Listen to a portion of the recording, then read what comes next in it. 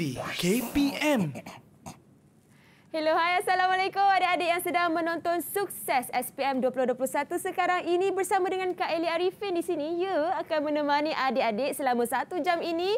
Kita akan sama-sama belajar uh, bagaimana nak menguasai dan menjawab kertas peperiksaan SPM. Ah, dalam mata pelajaran pada hari ini, apakah mata pelajarannya? Kejap lagi Kak Eli kongsikan. Sebelum itu, sukanya Kak Eli ingatkan ah, sempena bulan Ogos yang merupakan bulan kebangsaan. Sama-sama kita kibarkan jalur gemilang bagi menandakan sokongan dan juga menanam sifat patriotisme dalam diri kita. Juga tanda solidariti terhadap uh, para atlet Paralimpik Tokyo 2021 yang sedang berlangsung sekarang ini. Sama-sama kita doakan agar para atlet kita dapat membawa pulang kejayaan yang lebih besar insya-Allah. Baiklah, kita akan berkenalan dulu dengan guru yang akan mengajar kita untuk mata pelajaran yang menarik pada hari ini. Jom kita saksikan profil guru.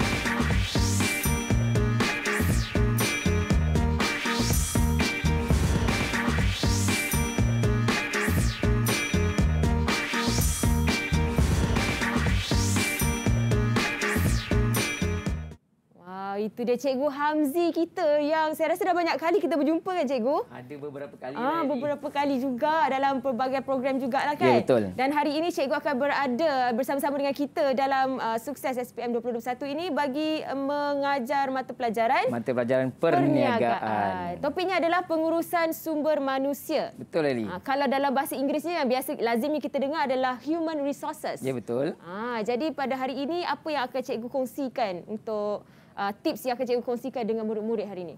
Okay, jadi saya harap murid-murid semua bersedialah untuk topik ini kalau ikutkan uh, bab 1 tingkatan 5. Mm-hmm. Okay, pengurusan sumber manusia. Jadi murid-murid uh, perlu bersedia untuk mempelajari apa yang ada dalam pengurusan sumber manusia dari sudut maksud, peranan, kepentingan dan ada banyak lagi lah. Tapi kalau nak tahu selebihnya, kena tengok rancangan ini sampai habis. Sampai habis. Ha, sebab ada riasa-riasa dan tips-tips yang cikgu nak kongsikan. Betul. Okey cikgu, kita ke meja sakti kita ni sebab kita nak lakukan SOP. Boleh okay, cikgu? Boleh. Okey, silakan. Baik, ha, macam biasalah kita haruslah menjaga SOP kita. Penjarakan sosial, penjarakan fizikal satu meter. Yes. Kerap sanitasi tangan, cuci tangan dan sentiasa memakai pelitup muka setiap kali nak keluar dari rumah. Baik, saya akan mulakan sanitasi tangan saya dulu. Dan okay. kita dengan cikgu ya. Terima kasih. Okey, ha, kita dah jaga SOP, kita dah bersemangat dah ni dengan um, bulan kebangsaan ni pula Betul dan lagi. tambah pula dengan nak menjawab kertas peperiksaan SPM um, uh, mata pelajaran uh, perniagaan ni jadi kita nak berkenalan dengan murid-murid kita. Oh ada murid-murid eh? Adalah oh, cikgu. Askar-askar kita cikgu. Baiklah. Oh, yang bersemangat ni dalam talian sekarang ini mari kita bersama-sama dengan mereka dan berkenalan dengan murid-murid kita. Ah, siapakah mereka ni? Alah, okey.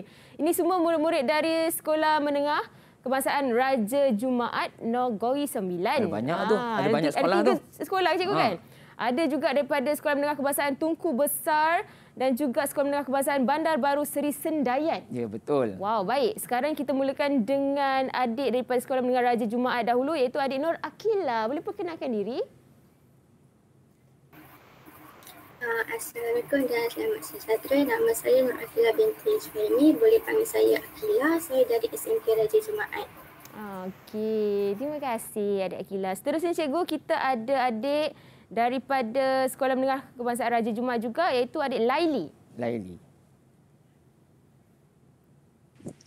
Uh, Assalamualaikum. Nama saya Laili Mukarrama dari SMK Raja Jumaat. Boleh panggil saya Laili. Okey, terima kasih Laili. Dan seterusnya daripada sekolah yang sama iaitu adik Tok Jin Ying. Maafkan Kak Ili kalau salah sebut nama. Tok Zin Ying. Tok Zin Ying. Oh, ah, okey. Selamat sejahtera kepada semua. Nama saya Tok Zin Ying dari Sekolah SMK Raja Jumaat. Boleh panggil saya Tok. Tok Zin Ying. Okey. Ha, kalau susah panggil Tok lah. Tok saja. Hmm. Baik. Okey, terima kasih Tok. Dan ini dia sekolah daripada Tunku Besar, hmm. Ainur. Hai, salam sejahtera. Nama saya Ainur Batisha. Boleh panggil Ainur. Saya daripada SMK Tunku Besar. Okey, manis orangnya. Terima kasih Aino. Dan seterusnya daripada Sekolah Menengah Kebahasaan Bandar Baru Seri Sendayan, Nur Syafiqah. Assalamualaikum semua. Nama saya Nur Syafiqah Rafi Ahmad Azrin. Boleh panggil saya Pika. Saya daripada SMK Bandar Baru Seri Sendayan. Terima kasih. Okay, sama-sama. Dan yang terakhir adalah adik Safia. Assalamualaikum semua. Saya Safia Umaira binti Zulhusni. Uh, boleh panggil nama saya Safia aja. Uh, saya dari SMK Bandar Baru Sri Sendayan. Okey, baik. Uh, disebabkan kita punya mata pelajaran berkaitan dengan perniagaan, pengurusan. Betul. Jadi Kak Eli nak tanya juga kepada murid-murid uh, dalam talian berkenaan dengan mata pelajaran ini. Kita mulakan dengan um, Laili lah. Boleh Laili? Boleh, boleh. Okey. Um, subjek perniagaan ni saya suka dari tingkatan empat. Uh, saya bertekad untuk dapatkan A dalam mata pelajaran ni. Uh, apa-apa tajuk pun saya akan cuba untuk fahami dengan baik. Apatah lagi tajuk PSM ini memang berkaitan terus dengan kehidupan pekerja. Oh. Ah, wow. Dia buat singkatan terus PSM. PSM tu pengurusan sumber manusia. Pengurusan sumber manusia. Okay, terima ah. kasih adik Laili. Seterusnya Sama. saya saya nak tanya lagi seorang murid. Boleh cikgu? Boleh, boleh, boleh. Hmm, saya nak tanya adik Ambil sekolah lain lah pula. Okey, boleh. Uh, dari sekolah saya pilih eh. Dari sekolah menengah kebahasaan Tunku Besar. Ah, okey, boleh. Okey. Adik Ainor sebab nama dia macam nama best friend saya, kawan okay. baik saya. Senang ingatlah. Ah, senang ingat. Okey, pada pendapat saya, uh, topik ini menarik untuk dipelajari dan juga mudah untuk kita fahami. Uh, kalau kita dapat kuasai bab uh, bab ini atau topik ni dengan sungguh-sungguh, kita dapat uh, dapat uh, dapat skor A dan cemerlang dalam SPM nanti. InsyaAllah. Insya Sama-sama kita doakan ya. Okey, dah dua buah sekolah. Dua. Sekarang ha. yang ketiga pula. Ah, Bandar Baru Seri Sendayan pula lah. Ah, uh, Bandar Baru Seri Sendayan. Kak Eli nak pilih. Kejap, dia ada dua orang kan? Nur Syafiqah. Ah, ya saya. Okey. Uh, pada pendapat saya, topik ini mudah untuk saya sekolah dalam peperiksaan SPM kerana ia berkaitan dengan seseorang pekerja dalam kehidupan. Ah, okey. Hebat jawapan dia cikgu. Betul betul kalau ikut jawapan dia tu uh, masih berada di atas-atas di awang-awangan lagi lah ah, sebab ah, tak sebab dia tak belajar dengan khusus lagi. Okay. Tapi saya rasa bila lepas dia belajar ni dia akan jawab lebih Ah, mendalam terperinci lagi. Lah. Terperinci lagi. Baik. Ha, eh, tapi itulah bila kita menjawab dengan terperinci pastinya murid-murid dan juga saya sendiri nak tahu juga objektif untuk mata pelajaran dan uh, pembelajaran kita pada hari ini apa dia cikgu? Kalau ikut objektif pembelajaran kita ni kalau boleh saya tunjuk ke sini uh, Boleh sila cikgu ha, kena okay. slide ke? Ha, ada. Boleh. Uh, silakan. Dalam paparan uh, untuk uh, tajuk kita hari ini okay. di akhir sesi ini apa yang murid-murid perlu dapatkan ialah yang pertama menyatakan definisi pengurusan sumber manusia uh-huh. itu dan juga kepentingannya lah. Okay. Seterusnya ialah berkaitan menjelaskan peranan. Okay. Peranan pengurusan sumber manusia. Jadi murid-murid dia kena beza antara kepentingan, uh-huh. peranan, uh-huh. Ha, ada uh, topik yang berbeza tu. Okay. Ha, supaya dia tahulah apakah jawapan yang sepatutnya dia nyatakan. Uh-huh. Dan seterusnya, satu lagi uh, berkaitan menghubung kait uh, kemahiran keboleh kerjaan sebab biasanya dalam uh, sesi temu duga kita akan lihat berkaitan kemahiran kebolehkerjaan bagi seseorang pekerja itu uh-huh. untuk melayakkan dia dapat kerja. Ah. Ha, itu yang pelajar semua perlu tahu, murid-murid perlu tahu untuk hari inilah. Baik, menarik, menarik. Saya sendiri pun tertarik juga nak belajar sama-sama terutamanya bila cikgu nak kongsikan sendiri tips bagaimana nak menguasai menjawab kertas peperiksaan SPM ni. Okey, kita nak berehat seketika cikgu. Boleh. Kita nak buat persiapan dan persediaan untuk belajar sama-sama dengan cikgu hari ini. Jadi kita kembali selepas ini dalam Sukses SPM 2021. Jangan ke mana-mana. Didik TV KPM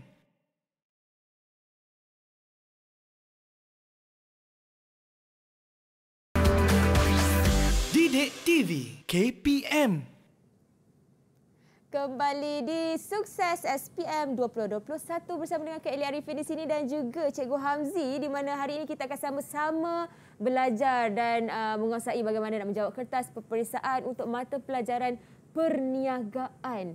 Baik, cikgu. Kalau perniagaan dulu saya tak pernah dengar zaman saya lah. Ha, kalau Eli cakap tak pernah dengar tu betul lah. Kalau oh. Eli kata pernah dengar zaman sekolah dulu, ha, nampak tipu tu. nampak. Alah, tak nampak muda ke? ha, kenapa ha. cikgu? Masih dah bertukar ke daripada dulu uh, mata, uh, kelas apa dulu? Dulu perdagangan kan. Perdagangan. Ha, dan mata pelajaran uh, perniagaan ni baru je diperkenalkan hmm? untuk pelajar SPM hmm? uh, bermula SPM 2018. Oh. Ha, jadi mereka ni calon SPM uh, calon yang, yang keempat. keempat. Ya. Tahun yang keempat lah. Tahun keempat. Baik, baik. Okey, okey. Cikgu boleh teruskan apa yang akan kita belajar pada permulaan ni sekarang. Okey, jadi tajuk yang kita nak bentangkan hari ini yang kita hmm. nak ceritakan untuk murid-murid semua. Uh, kenapa saya pilih tajuk ni? Okay. Kita tengok dulu kekerapan soalan SPM yang biasanya uh, ditanyalah. Okay. Kalau kita melihat pada SPM 2018, kertas satu ada empat soalan daripada tajuk pengurusan sumber manusia. Hmm. Diikuti dengan kertas dua ada empat markah. Pada tahun 2019, uh, kertas satu ada dua soalan lah. Dan kertas dua ada enam markah. Jadi untuk kita dapatkan cemerlang keputusan SPM tu, kita tak boleh anggap uh, jumlah ni satu jumlah yang kecil lah. Sebab bila kita kuasai sebab tajuk ni memang uh, seperti kata murid-murid tadi, uh-huh. uh, dia berkaitan kehidupan seharian kita. Ah. Berkaitan mungkin ayah bekerja, mak bekerja, uh jadi benda tu sangat berkaitan. Jadi daripada situ dia senang untuk kaitkan dengan jawapan. Sepatutnya kalau topik ini ditanya, murid-murid ini sepatutnya dia tak salah lah. Hmm. Dia boleh jawab dengan baik. Okay, ha, 2020 baik. minta maaf lah sebab soalan tertutup kan. Uh-huh. Ha, tak dapat ditunjukkan lah. Ha, dalam situasi sekarang kan. Okay, Apa-apa betul. pun saya harap uh, semua murid telah bersedia lah uh-huh. untuk kita pelajari topik hari ini. InsyaAllah. Okay. Pernah ke kita belajar? Saya nak tanya murid-murid saya ni. Pernah ke belajar topik urusan sumber manusia sebelum ni? Hmm. Ha, ada ke murid-murid saya pernah belajar topik ni? Cikgu nak tanyakan kepada siapa? Uh, ya, cikgu. Oh, Safia. Ya, Safia. Ya, ya. Uh, pernah cikgu. Uh, saya rasa masa tingkatan empat uh, ada belajar uh, tentang sumber manusia dalam bahagian-bahagian fungsian. Betul oh. kan cikgu? Okey Safia, terima kasih. Alhamdulillah. Walaupun dalam uh, PDPR pembelajaran secara uh, dalam talian, uh, pelajar murid masih ingat lagi lah apa yang dipelajari masih tingkatan empat. Betul daripada 11 bahagian fungsian yang kita pelajari masa tingkatan 4, ada satu bahagian disebut sebagai bahagian pengurusan sumber manusia. Okay. So ini kira macam kesinambungan mm-hmm. daripada topik tingkatan 4 kemudian dikhususkan dalam satu bab untuk tingkatan 5. Mm-hmm. So uh, saya rasa pelajar semua tak ada masalah lah untuk uh, tambah lagi ilmu dia berkaitan pengurusan sumber mm. manusia. Okay. okay. Seterusnya, okay, kita tengok definisi. Ah, okay, definisi pengurusan sumber manusia. Macam tadi uh, Eli ada sebut berkaitan human resource kan. Uh, itu dalam bahasa Inggeris ni lah berkaitan pengurusan sumber manusia. Jadi apa sebenarnya yang berlaku dalam pengurusan sumber manusia ni? Okay, kita tengok definisi. Definisi pengurusan sumber manusia merupakan satu usaha membangunkan tenaga kerja ataupun pekerja yang ada tu dalam organisasi untuk menarik, merekrut dan mengekalkan tenaga pekerja yang berprestasi tinggi. Dalam situasi sekarang ni, setiap uh, pihak dalam pengurusan sumber manusia ni kita nak dapatkan pekerja-pekerja yang bagus. Hmm. Pekerja yang bagus dan apabila pekerja yang bagus ni dah datang ke, ke tempat kita, kita perlu kekalkan dia, tingkatkan kualiti yang ada lah. Hmm. So daripada definisi ini, sebenarnya kita dapat tengok dia punya kepentingan. Hmm. Kepentingan. Daripada definisi, pentingnya murid hafal definisi ini sebab daripada definisi dia bo- boleh huraikan huraikan kepada kepentingan hmm. ataupun peranan. Tak percaya nanti kita tengok apakah okay. isi dalam kepentingan dan peranan. Okey, saya teruskan. Definisi pengurusan sumber manusia memberi kepentingan pengurusan sumber manusia. Sebab hmm. tajuk ni ialah bab satu tingkatan lima. Murid-murid uh, dah pelajari pada awal tahun lagi. Jadi ini sebagai satu pengulangan ataupun peneguhan kepada topik ini. Saya pernah uh, memberi tips kepada murid saya bagaimana nak menghafal kepentingan pengurusan sumber manusia. Mm-hmm. murid saya Raji Jumat ada tiga orang kat sini. Saya nak oh. tengok boleh ingat ke tak boleh ingat. Saya nak tanya, uh, Akilah, uh, apakah contoh akronim yang saya ajar ketika menghafal kepentingan pengurusan sumber manusia? Uh, kalau tak kalau tak salah saya, cikgu lanjut pelajaran ke peringkat master. Eli dengar tak dia cakap, cikgu melanjutkan pelajaran ke peringkat master. Ha, dia kata cikgu lanjut pelajaran ke peringkat master. Wow. Okey. Jadi masih cikgu yang lanjutkan pelajaran itu? Ha, saya ingatlah walaupun saya tak sambung master lah, ha. minta maaf lah kan. Okay. Ha, saya tak tak larat kot.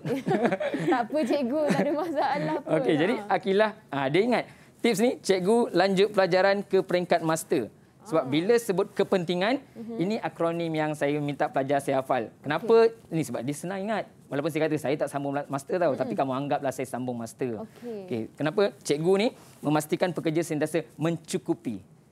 Okay, kita, uh, kepentingan pengurusan sumber manusia memastikan pekerja sentiasa mencukupi. Yang kedua, menyediakan pekerja dengan latihan ataupun kursus yang terkini. L kan? Okay, yang ketiga, pelajaran ni pengagihan pekerja. Pengagihan pekerja tu ikut kemahiran, pengagihan dengan berkesan. Bukan kita suka-suka hati letaklah pekerja ni.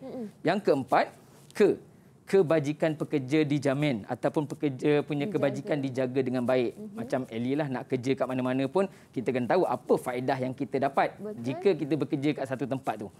Seterusnya, prestasi pekerja dipantau dari semasa ke semasa. Ya, kita ada penilaian daripada kita punya majikan. Mm-hmm. Kalau dalam uh, cikgu pun ada penilaian setiap tahun bagaimana prestasi. Seterusnya, master ni memotivasikan pekerja sepanjang perkhidmatan. Semua enam-enam ni ialah berkaitan kepentingan pengurusan sumber, man- sumber manusia. Mm-hmm. Uh, sumber manusia akan menjaga perkara-perkara ini untuk mengekalkan pekerja yang baik dalam sesebuah organisasi. Maksudnya itu adalah kata kunci bagi ha, betul. ingat. Kata kunci sebabnya Ali, dalam soalan SPM dia boleh tanya kepentingan, dia boleh tanya peranan. Hmm. Jadi murid perlu bezakan soalan tu minta apa. Hmm. Ha, jadi kalau murid saya saya dah cakap, kalau berkaitan kepentingan ini dia punya akronim untuk you hafal. Okay. So mesti buat ayat yang lengkap lah. Ha. Tak bolehlah kata cukup uh, cukup je. Ha, mesti buat ayat yang lengkap lah. Okey, okay. baik, baik. Okay, ini selesai kepentingan. Saya rasa tak ada masalah. Semua murid boleh hafal dengan baik bagaimana kata kunci ini boleh membuat ayat yang lengkap. Okay, seterusnya, berkaitan peranan. Ada banyak ayat peranan sumber manusia ni. Hmm. Kita pergi satu persatu. Baik. Yang pertama peranannya ialah keperluan pekerja, merekrut pekerja, hmm. kontrak pekerjaan dan deskripsi tugas. Rekrut pekerja itu maksud berkaitan pengambilan pekerja lah, pengambilan pekerja teknik dan proses pemilihan, kriteria yang sesuai. Dalam pemilihan kita perlu uh, ada temu duga untuk melihat uh, kemahiran ataupun keupayaan pekerja kita itulah. Seterusnya, deskripsi tugas yang jelas. Deskripsi tugas. Ha, Eli, deskripsi tugas. Ha, Eli tahu deskripsi tugas. InsyaAllah. Ha, okay, saya tanya murid saya. Okay, uh, Zingying, Zingying. Tok Zingying, awak faham ke? Ya, uh, awak faham ke perkataan deskripsi tugas tu apa? uh, deskripsi tugas ini macam skop tugas yang perlu kita lakukan ke, cikgu? Uh, Okey, Jing Ying. Uh, Okey, bagus. Uh, sekurangnya kamu fahamlah sebab dalam sesi pengajaran ada set, uh, sesetengah perkataan tu uh, murid kita tak faham tau. Jadi uh, memang saya kena tanya, adakah dia faham perkataan deskripsi tugas tu? Seperti yang dikatakan oleh Jing Ying, uh, deskripsi tugas tu berkaitan uh, skop tugas ataupun pembahagian kerja yang perlu dilakukan lah. Jadi apabila kita dah diterima masuk satu pekerjaan tu, kita mesti tahu apakah skop tugas yang kita akan lakukan. Hmm. Tak adalah kita kata, okey saya terima tugas ni cik. Lepas esok datang kerja tak tahu nak buat apa. Ha, kita perlu tahu yang tu. Seterusnya berdasarkan KPI ya cikgu. Ha, oi Eli dah pergi oh, saya punya per, kan? peranan tu dah peranan yang seterusnya Alamak, tu. Sorry. Oh, nampak pan, nampak pandai kat situ. okey. Sabar nanti saya minta. Belum lagi. Okey, okay, seterusnya penawaran kontrak yang jelas. Maksudnya penawaran kontrak yang jelas apabila dalam penerimaan kerja tu kita dah tahu berapa peruntukan gaji untuk kita, berapa cuti yang diberikan, ah, itu perlu tahu dalam penawaran kontrak pekerjaan. Mm-hmm. Okay, yang kedua peranannya membangunkan pasukan untuk mencapai sasaran. Ya, sasaran yang Eli sebutkan tadi, ah. iaitu mewujudkan semangat berpasukan untuk capai matlamat dan KPI iaitu indeks pencapaian utamalah key performance indicator. Okay. Biasa kita dengar KPI KPI kan? Ha, key performance indicator tu maksudnya dalam sesebuah organisasi tu ada yang perlu dicapai. Uh-huh. Jadi kita perlu dalam satu pasukan tu untuk merealisasikan impian matlamat organisasi itu uh-huh. ha, kita perlu bekerjasama lah. Bekerjasama untuk mencapai KPI yang Eli sebutkan uh-huh. tadi itu. Ha, okey. Yang kedua, dan yang ketiga, berkaitan prestasi pasukan. Tadi apabila dah bekerjasama memberi uh, kemahiran uh, bekerjasama dalam uh, meningkatkan matlamat organisasi, kita nilai prestasi pasukan ini di mana ia akan mempengaruhi kuantiti dan kualiti produktiviti. Meningkatkan prestasi motivasi melalui latihan. Prestasi pasukan ini perlu dilihatlah supaya uh, bukanlah hanya seorang individu sahaja yang bekerja. Kita perlukan melihat satu satu tim, satu pasukan tu untuk mencapai uh, objektif yang diterapkan melalui prestasi pasukan ni. Hmm. Okey, daripada prestasi pasukan ni, kalau tengok ayatnya ialah berkaitan motivasi dan kursus, itu dah sampai kepada uh, peranan yang seterusnya. Peranannya berkaitan latihan peningkatan kemahiran. Mana-mana organisasi pun dia ada menyediakan latihan dan kemahiran ni. Macam Eli sendirilah saya tanya. Hmm. Eli uh, terlibat dalam bidang pengacaraan ni dah berapa lama? Hmm, Alhamdulillah baru 11 tahun kot. Oh, baru 11 tahun. Dengar tu murid-murid saya, baru 11 tahun eh. Ha, 11 tahun tu baru tau. Okey, jadi kalau baru 11 tahun, uh, apakah latihan ataupun kursus yang pernah Eli sertai bagi meningkatkan kemahiran ni? Kalau secara peribadinya, saya hanya uh, rujuk kepada uh, pengacara yang lebih senior, okay. yang lebih berpengalaman. Uh, saya tanyakan kepada mereka dan bagaimana mereka mengendalikan sesebuah pro, uh, program itulah. Jadi perlu ke Eli berlatih depan cermin ke apa? Ada kalau diperlukan saya akan lakukan uh, perkara tersebutlah kalau dia memang betul-betul memberi tekanan supaya saya dapat membuat persiapan yang lebih rapi saya perlu buat lakukan okey ba- okey uh, baguslah Eli apa yang Eli buat tu memang uh, untuk meningkatkan kemahiran yang ada lah sebab apa latihan-latihan ini perlu dilakukan secara berterusan uh-huh. ataupun berkala uh-huh. ikut kesesuaian dan latihan sambil bekerja pun boleh. Latihan hmm. sambil bekerja maksudnya dalam kita nak jimatkan orang untuk keluar kursus jauh-jauh ke hmm. dalam tempoh bekerja ni pun saya rasa pun uh, Eli pun dah banyak melakukan latihan, latihan. sambil bekerja uh, lah kan. Maksudnya macam saya akan tanya juga kepada penerbit-penerbit yeah. uh, tentang uh, apa orang kata feedback atau feedback. respons mereka terhadap hasil kerja saya sebab kita tak tahu apa yang kita lakukan. Jadi betul, betul orang lagi. yang nampak mereka yang akan mengadili. Ah betul. Jadi kadang-kadang mungkin ada latihan yang disediakan, betul. mungkin pihak swasta yang sediakan, hmm. uh, majikan boleh sediakan latihan ataupun latihan daripada pihak luar, hmm. majikan hantar betul. untuk meningkatkan kemahiran. Betul. Tak adalah kita biarkan pekerja kita pada tahap yang sama je. Betul. Okay, seterusnya membentuk persekitaran kerja yang positif dan harmoni. Ini sangat penting eh sebab apa?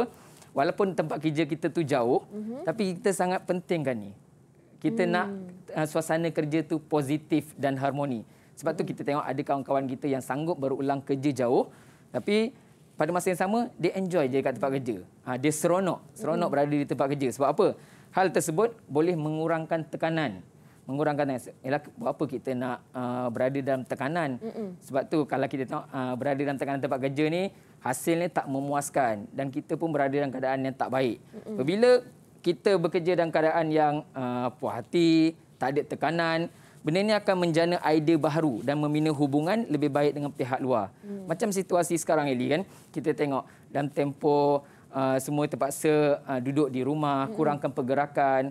Kita boleh lihat satu kolaborasi yang baik KPM dengan Media Prima menjalankan program program TV pendidikan ni contoh program Didik TV kan. Mm-hmm. Jadi saya rasa kolaborasi ini sangat baik dan menjana banyak idea-idea baru. Boleh tengok banyak slot yang disediakan dalam program Didik TV. Ada teroka, ada teras, ada sukses, mahir, aktif dan sebagainya. Betul, betul Eli? Betul. Ha, Eli pun dah banyak mengacara banyak program dah kan? Oh itulah Alhamdulillah. Setakat ha.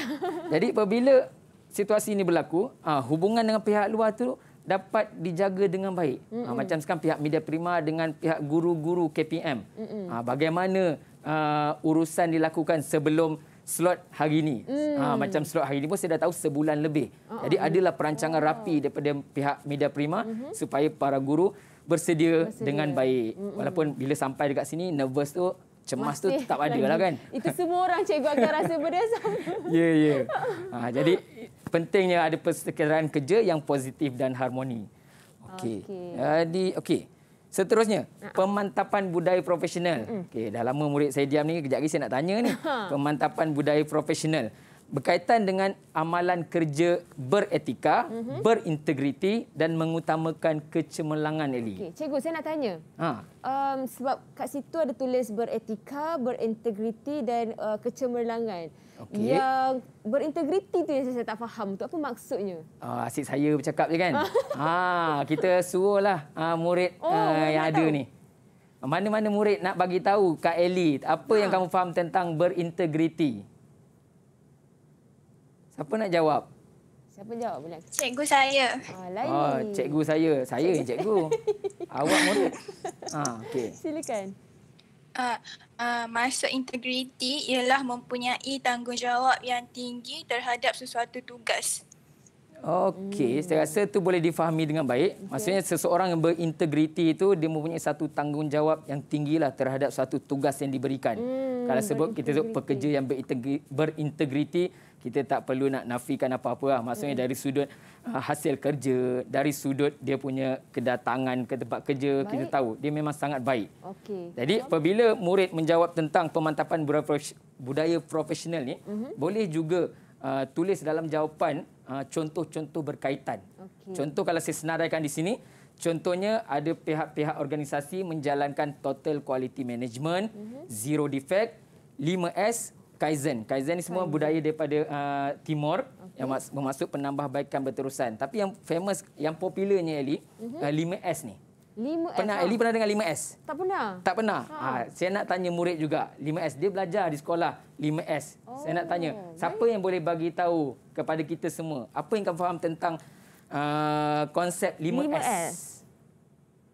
Uh, Okey cikgu, saya try ya. Ha Safia, okay. ha cuba uh, 5S ni cikgu nak dalam bahasa apa dia? Sebab dia ada dua bahasa. Satu Alamak, Jepun Eli. satu bahasa Melayu. Hebatnya dia boleh bagi kita pilihan tau. Dia tanya saya Jepun atau bahasa Melayu. Kalau dia sebut bahasa Jepun nanti saya kena explain saya kena terangkan balik. Uh, Safia bagi bahasa Melayu bahasa terus bahasa Melayu lebih mudah lah.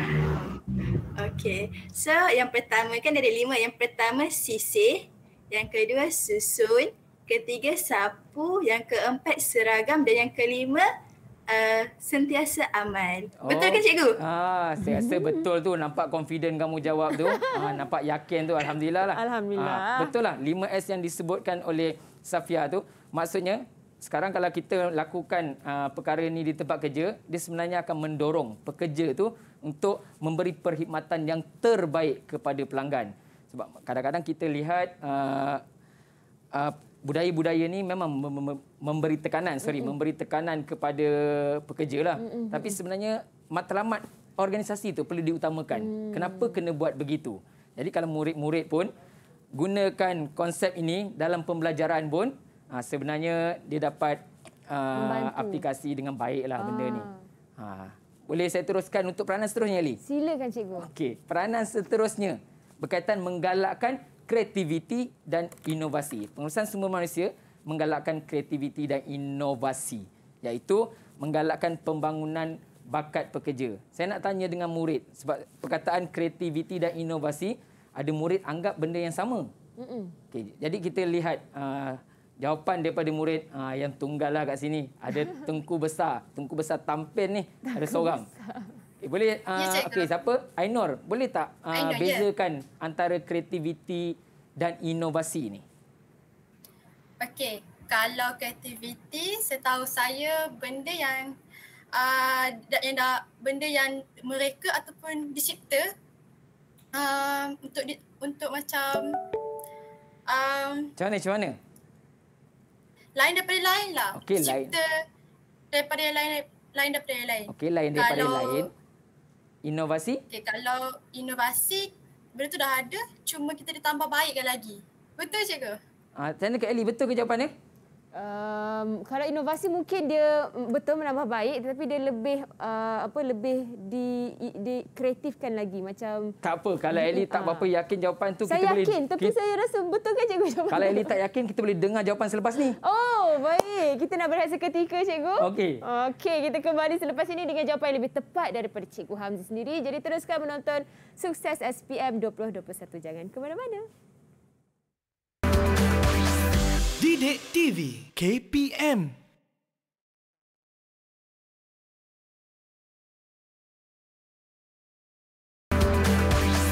Didik TV KPM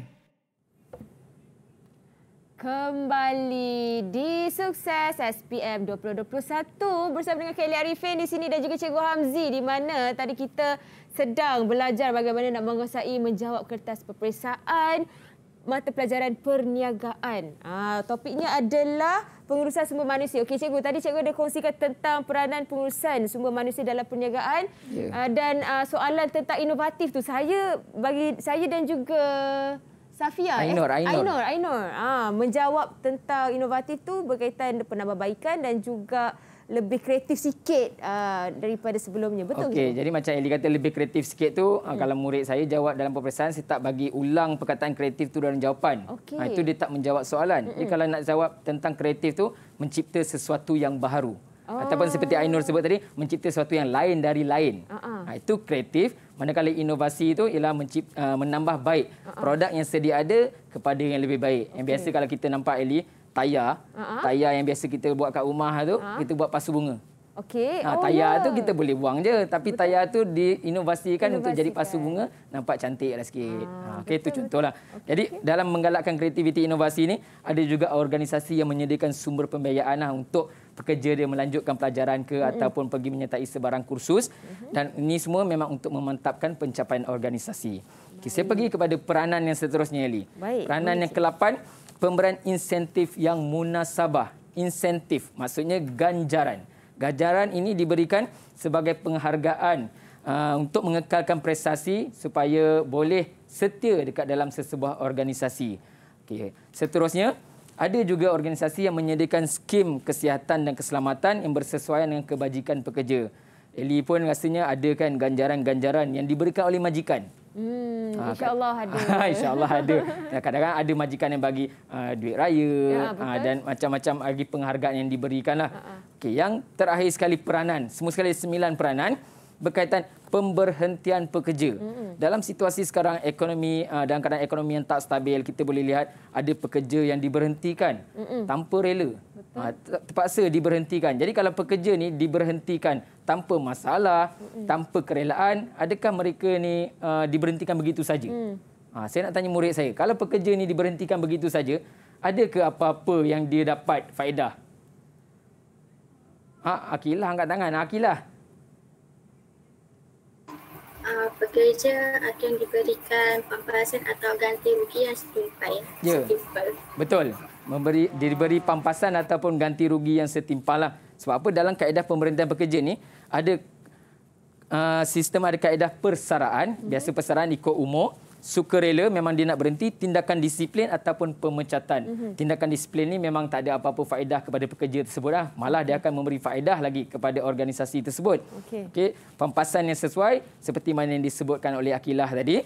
Dan last sekali, uh, akhir sekali dia boleh mengelakkan pembaziran sumber pekerja. Mana pekerja-pekerja yang kita lihat uh, tidak mempunyai kualiti, tak mempunyai standard yang sepatutnya, uh, mungkin akan dikenakan kaedah penempatan kontrak yang bersesuaian lah. Mm-hmm. Uh, tapi kalau yang yang bersara, biasanya kalau dalam kakitan kerajaan yang bersara mungkin pilih skim persaraan, dapatlah bulanan pencen-pencen bulanan mm. kan. Ha, okey, ini berkaitan pemberhentian pekerja. So daripada kepentingan peranan sumber manusia, ha, kita akan pergi ke satu lagi topik berkaitan kemahiran keboleh kerjaan. Okey, di sini kalau Eli nampak dan murid-murid penonton semua nampak berkaitan satu jawatan kosong. Saya tak nak terangkan lebih lanjut isi kandungan jawatan kosong, mm-hmm. tapi maksudnya berkaitan kemahiran keboleh kerjaan ni kita kaitkan dengan sesi temu duga yang akan dijalankan. Mm-hmm. Tapi kemahiran keboleh kerjaan, apa sebenarnya maksud kemahiran keboleh kerjaan ni? Mm-hmm. Uh, minta seorang lagi murid saya Wow. untuk bagi tahu. Oh, dia angkat tangan. Ah, Syafika. Syafika. Ah, saya. Okey. Uh, kebolehan kerjaan ini boleh didefinisikan sebagai kemahiran atau kebolehan yang dimiliki oleh seseorang pekerja lah. Okey. Kita lihat sama ada jawapan yang diberikan Syafika tu betul ke tak betul berkaitan kemahiran kebolehkerjaan. Kita tengok rumusan keseluruhan. Kemahiran kebolehkerjaan saya senaraikan sini ada lima. Kalau murid-murid di rumah pelajar tingkatan lima tengok dalam buku teks, dia ada uh, dua muka surat eh, yang menceritakan tentang kemahiran kebolehkerjaan. Muka surat yang pertama tu dia senaraikan tujuh kemahiran kebolehkerjaan. Tapi yang saya nak terangkan di sini ni berkaitan apa yang memang ada dalam huraian uh, sukatan pelajaran lah. Uh, okay, ada lima di sini, tujuh murid-murid boleh tengok dalam buku teks. Okay, yang pertama kelayakan yang bersesuaian. Jawatan yang nak dimohon ni mesti kita ada kelayakan yang bersesuaian lah. Kalau kelayakan minimum diploma, ha, diploma lah sekurang-kurangnya kalau kamu ada SPM je, tak payahlah kita pergi cuba. Mm-hmm. Ha, memang kita tak akan dapat. So yang kedua berpengalaman. Tengok apakah pengalaman yang diminta di sini. Minimum 2 tahun pengalaman dalam bidang berkaitan. Minimum 2 tahun berpengalaman. Ada pengalaman. Kemudian yang ketiga, berpengetahuan tentang produk. Maksudnya, jika dalam temu duga ditanya tentang apa kerja yang awak nak buat ni, kita boleh jawab. Kita tahu apakah pekerjaan yang kita nak lakukan tersebut. Seterusnya, Seperti turun 4 dan 5 bekal- berpengalaman dalam industri, keberkesanan mencapai sasaran. Biasanya dalam temuduga berpengalaman industri ni lebih bagus daripada yang berpengalaman. Mungkin dia ada pengalaman bekerja. Tapi pengalaman bekerja dia tu tak berkaitan dengan industri dia. Ha, jadi mungkin kita akan daripada dua orang ni kita akan buat pemilihan lah. Dan last sekali berkaitan keberkesanan mencapai sasaran. Baik. Okey, jadi bagaimana pekerja tu boleh membantu organisasi tersebut untuk mencapai apa yang diharapkan oleh organisasi tersebut. Saya rasa tajuk kita hari ini dah tiga daripada kepen, uh, definisi, mm-hmm. kepentingan, Dan peranan. dan akhir sekali berkaitan kemahiran, Kemahiran. kebolehkerjaan. Ya. Rasanya kita dah boleh test ni, Wah. boleh boleh uji minda ni. Uji minda cikgu. Okey, baik. Saya tak sabar nak tengok uji minda. Kita nak uji minda murid-murid kita ni. Betul. Baik, Okey, jadi? Untuk sesi uji minda ni kita minta murid uh, angkatkan jawapan lah. Dia tulis kat kertas ke mm-hmm. untuk dia jawab uh, soalan. Saya rasa Eli kita tak payah tak payah semua Eli sebab tak ada soalan ni ada banyak ni. Oh, ya ke? Ah, jadi, kita kena pilih? Ah, pilihlah. Okey, contoh macam soalan satu, nanti Dua Eli orang. pilihlah dua orang. Okey, boleh, soalan dua boleh. ah, macam tu seterusnya. Boleh, boleh. Okey, soalan pertama. Eli nak pilih siapa ni Eli? Okey, saya rasa saya nak pilih um, nama yang sama dengan comeback saya. Okey. Ainur dan juga Tok. Ah, Okey, boleh tak kita minta Tok bacakan soalan? Ha Soalan pertama. Boleh. Um, bagaimanakah pengurusan sumber manusia dapat menjaga kebajikan pekerja? Okey. Mhm. Jadi, apakah jawapan Tok dan Ainur? A, B, C, D. A melaksanakan program induksi, B menyediakan skim latihan kemahiran, C menyediakan kemudahan klinik panel, D melaksanakan prinsip pengkhususan tugas. Angkatkan jawapan sekarang. Okey, Tok menjawab C. Menyediakan kemudahan klinik panel. Ainur? Jawapan Ainur? Okey. Ainur pun menjawab C juga. Okey, kita adakah tengok adakah betul jawapannya? Ya, Wah, betul. Betul. Tahniah. Tepat sekali. C menyediakan kemudahan klinik panel berkaitan kebajikan pekerja. Jadi murid di sini pun kertas walaupun dia jawab kertas satu, mm-hmm. apabila dia buat dalam kertas dua, dia menjawab kebajikan pekerja, dia boleh sertakan contoh. Mm. Contohnya menyediakan klinik panel mm-hmm. untuk pekerja. Ha, dapatlah markah. Okey, dua markah untuk Dua ah, markah. seorang, setiap seorang lah kan. Okey, Okey, soalan kedua. kedua. Okey, Eli kita pilih lagi Eli. Dua orang Eli. Baik, saya rasa saya nak pilih Laili dan Syafika. Okey, uh, Eli boleh bacakan soalan? Boleh cikgu, saya bacakan ya. Pernyataan yang manakah berkaitan dengan kepentingan pengurusan sumber manusia? Okey. Ha, kata kuncinya adalah kepentingan. Jadi jawapan Laili dan Syafika boleh angkat sekarang. Adakah A membentuk persekitaran, B pemantapan budaya, C menggalakkan kreativiti dan D pengagihan pekerja. Tak apa, salah tak apa. Ha, sebab sama-sama belajar cikgu ya. Ha, baru kita tahu kesilapan kita tu Okey, mana. angkat jawapan. Okey, boleh? Laili dan juga Syafika, satu, dua, tiga. Lail, uh, Syafika jawab D. Laili? Laili boleh angkat je jawapan?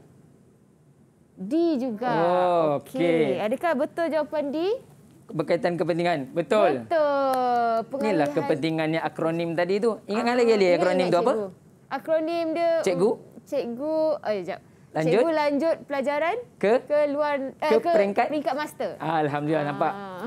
Eli pun baru belajar hari ini dah boleh ingat. Apatah lagi murid-murid eh, mesti dah boleh ingat. InsyaAllah. Jangan abaikan topik ni. Okey, dapatlah pengagihan pekerja secara berkesan. Okey, soalan yang ketiga Eli. Baik. Soalan ketiga ah, ada baki dua orang lagi kan? Ha ah. Ha, siapa dia? Iaitu Akilah dan Safia. Okey, Akila dan Safia, dengar soalan ni. Mengapakah pengurusan sumber manusia perlu diberi latihan yang mencukupi? Diberi latihan yang mencukupi. So, A meningkatkan minat pekerja, B membangunkan potensi pekerja, C mengekalkan kesetiaan pekerja, D menghargai sumbangan pekerja. Kamu rasa apakah jawapan yang sesuai dengan soalan ini? Lima saat. Jawab sekarang. Siapa tu? Akilah dan Safia. Safia, Okey, Akilah B. Safia pun B Safia juga. B. Alhamdulillah dia dengar juga apa benda yang, ajar ya? diterangkan.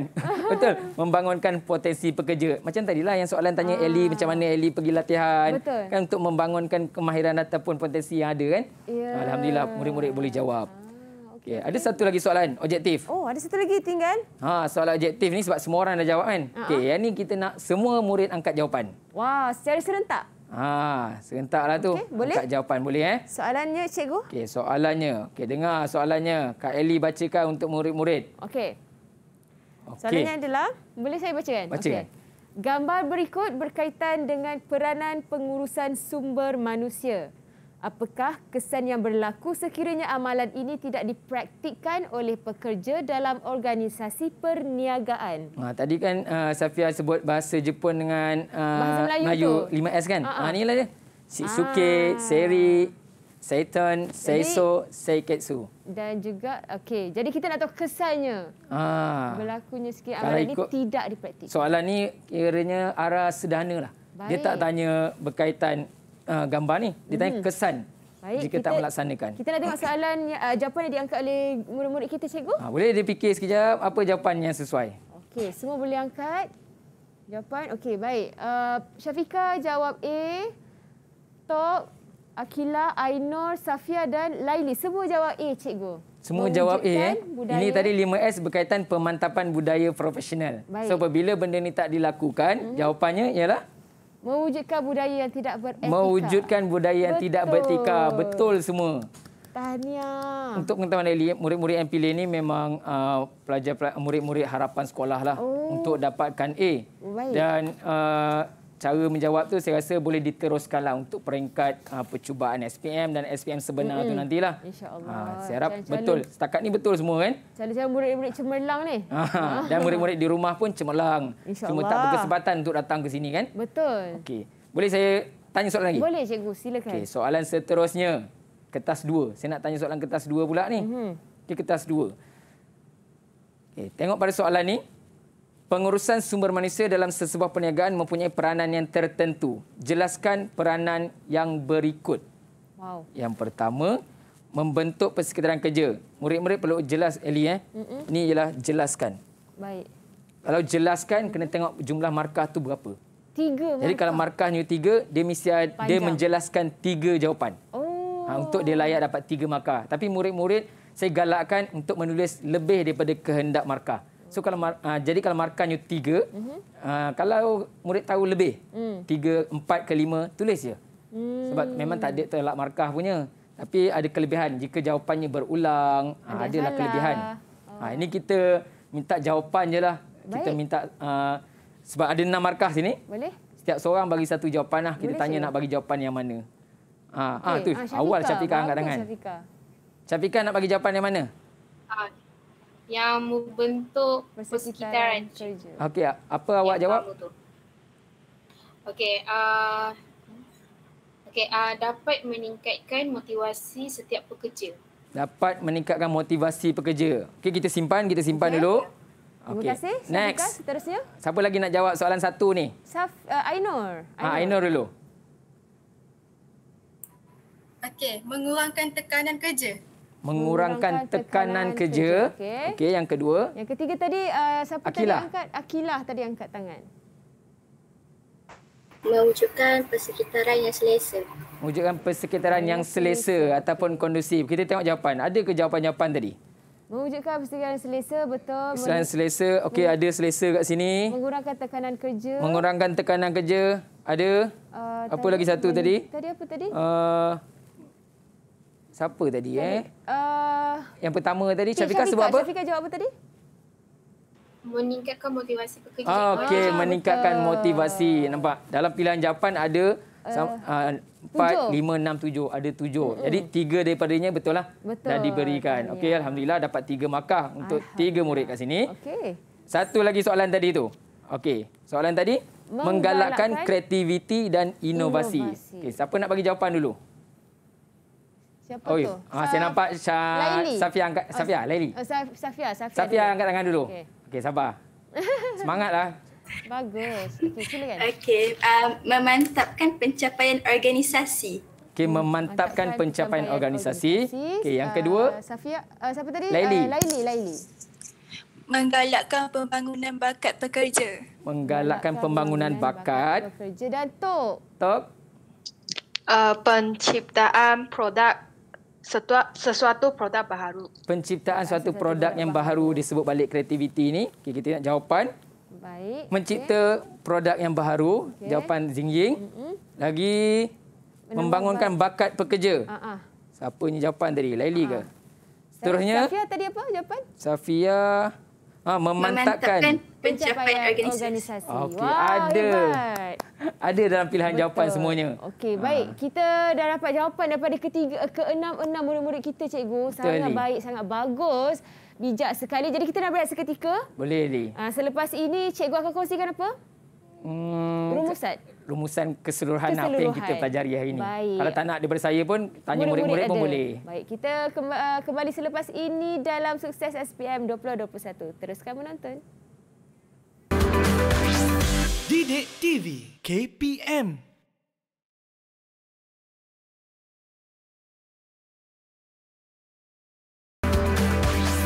Didik TV KPM Kembali di Sukses SPM 2021 bersama dengan Kak Eli Arifin di sini dan juga Cikgu Hamzi. Baik, Cikgu, kalau tadi kita dah uh, belajar menguasai kertas peperiksaan SPM untuk mata pelajaran perniagaan ni, Cikgu. Jadi secara keseluruhannya, apa yang Cikgu boleh uh, terangkan atau rungkaikan kepada murid-murid di rumah terutamanya?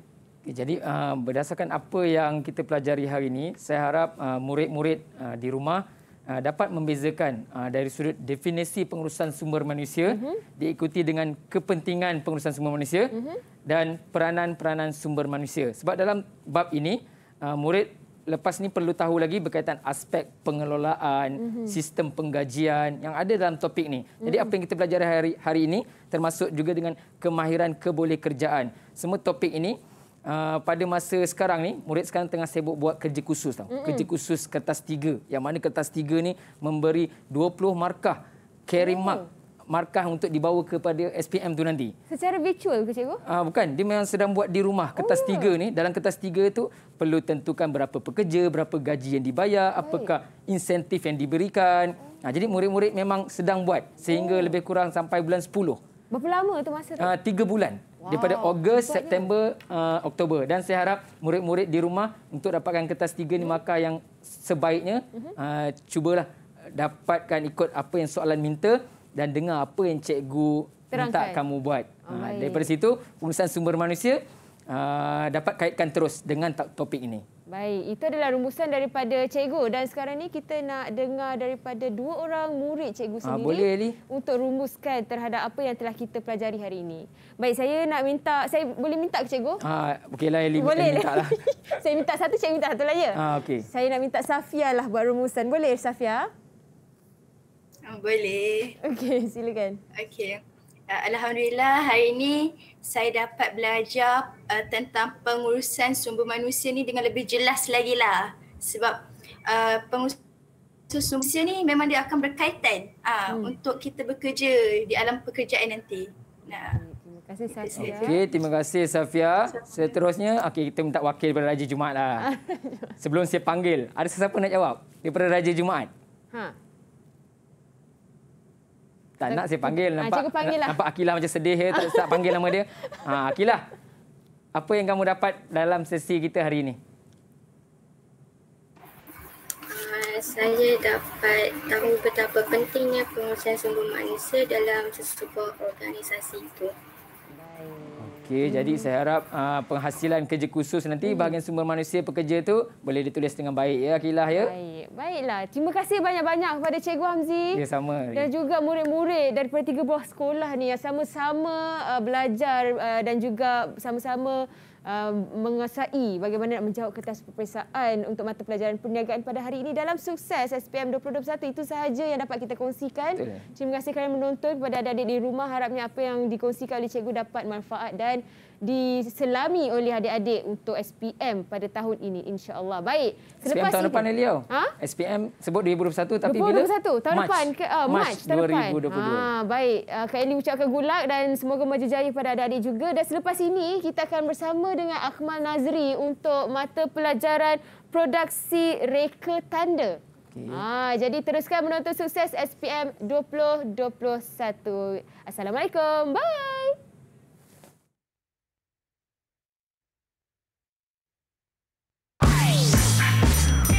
Didik TV KPM Perniagaan adalah satu mata pelajaran elektif yang berkonsepkan ilmu keusahawanan kepada setiap pelajar yang mengambil mata pelajaran tersebut di dalam peperiksaan Sijil Pelajaran Malaysia SPM. Dengan mengambil mata pelajaran perniagaan juga, pelajar dapat mengaplikasikan semua bab yang telah dipelajari ke dalam dunia perniagaan pada masa hadapan. Anda tidak akan rugi mengambil mata pelajaran perniagaan. Perniagaan is the best. Hai semua pelajar perniagaan. Bab 1 tingkatan 5 ini kita akan belajar berkenaan dengan pengurusan sumber manusia. Secara keseluruhannya, bab ini adalah berkenaan dengan aspek pengelolaan sumber manusia, penggajian, kebolehkerjaan dan juga struktur organisasi. Bab ini mudah dikuasai oleh pelajar kerana ianya ada kaitan dengan kerja khusus yang dilakukan oleh pelajar tingkatan 5. Bab ini juga adalah bab yang akan membantu pelajar untuk mengurus sumber manusia dalam organisasi dengan lebih cekap dan berkesan di masa hadapan. Akhir kata, cikgu doakan kejayaan untuk semua pelajar SPM ini.